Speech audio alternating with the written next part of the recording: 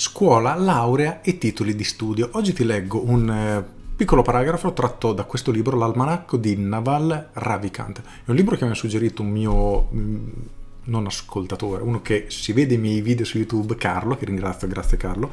È un libro interessantissimo, ne ho letto al momento solo 67 pagine, ma nei prossimi giorni tornerò nuovamente su questo libro, già in queste pagine ci sono un sacco di spunti che voglio condividere con te. E oggi ti voglio leggere una cosa che riguarda lo studio, la laurea, percorsi di studio in generale e apprendimento. La competenza che più di ogni altra ci permette di diventare ricchi è la capacità di apprendere sempre. È necessario sapere come imparare ogni cosa che desideriamo imparare.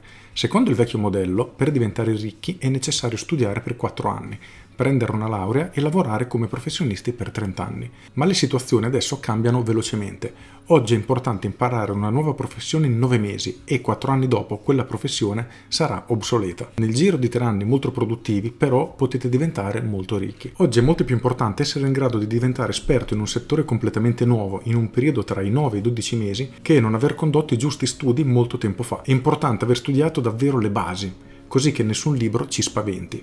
Se in biblioteca troviamo un libro che non riusciamo a comprendere è necessario scavare e domandarsi che cosa serve per imparare questo argomento. Le basi sono super importanti. L'aritmetica e la capacità di calcolo di base sono molto più importanti nella vita che non il calcolo infinitesimale. Allo stesso modo, sapersi esprimere con chiarezza utilizzando un linguaggio semplice è molto più importante che non essere in grado di comporre poemi, possedere un vocabolario ricercato o parlare sette lingue.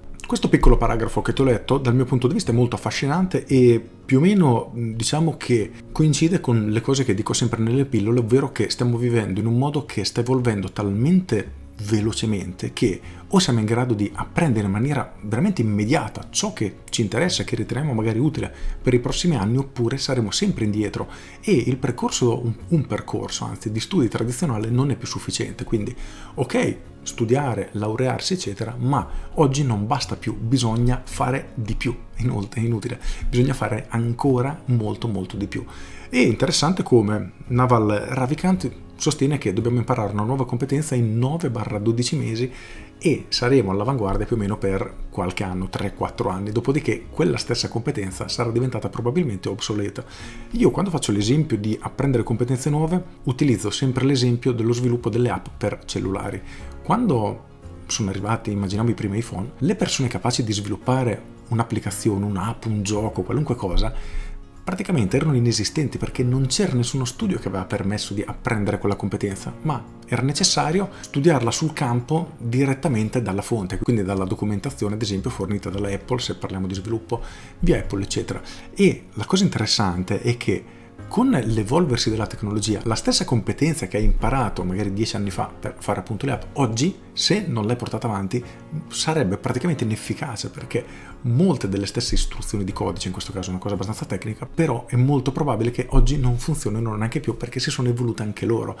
Quindi è incredibile come il mondo stia evolvendo in maniera veramente, veramente, veramente veloce e riuscire a rimanere più o meno al passo con i tempi, quindi continuare a studiare, a formarsi in continuazione, oggi credo che sia effettivamente fondamentale. Una cosa che sostengo sempre, questo libro più o meno sostiene la stessa cosa, quindi sono abbastanza soddisfatto di trovare qualcuno che sostenga la mia tesi. In ogni caso, chiediti quando è che ti sei aggiornato l'ultima volta? Stai continuando a formarti, a crescere indipendentemente dalla professione che fai? Perché anche una professione, diciamo, statica che nell'immaginario collettivo non si evolve molto velocemente come può essere un elettricista, un idraulico, quindi lavori abbastanza manuali, anche loro stanno vivendo un'evoluzione molto veloce.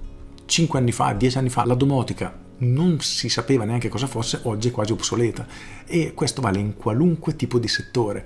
Prendiamo un dentista, quanto si sta evolvendo velocemente tutto il settore del mondo dei denti, quindi tutto il settore odontoiatrico a velocità veramente, veramente assurde ed è necessario essere sempre sul pezzo. Quindi se non vogliamo restare dietro e inutili nel mondo del lavoro, partiamo dal presupposto che bene o male dobbiamo sempre dedicare qualche ora alla formazione, altrimenti saremo ben presto fuori mercato. Con questo è tutto, io sono Massimo Martinini e ci sentiamo domani. Ciao! Aggiungo, ovviamente consiglio questo libro che è L'Almanacco di Naval Ravikant, un libro che mi sta piacendo molto, ripeto ho letto neanche 70 pagine, 67, ma ho trovato già tanti spunti che voglio condividere con te e infatti farò così anche i prossimi giorni. Con questo è tutto davvero e ti saluto. Ciao!